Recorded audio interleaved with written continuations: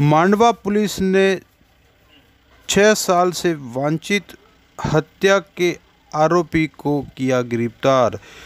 मांडवा थाना अधिकारी राम सिंह ने बताया कि मांडवा थाना क्षेत्र के कौचा निवासी अंबिया पिता लाला को गाँव सियाकरा के जंगल में माइंस एरिया की तरफ़ शैतान सिंह देवड़ा के खेतों पर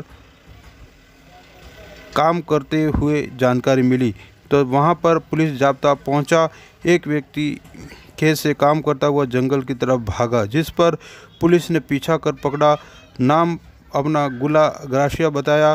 तब पूछ, कड़ी पूछताछ करने पर अंबिया पिता लाला ग्राशिया उम्र 35 साल, निवासी कौचा थाना मांडवा होना बताया, जिस पर प्रकरण में वांछित होने से तब से जाँच के लिए उन्हें गिरफ़्तार कर लाया गया। व पुलिस कर रही अनुसंधान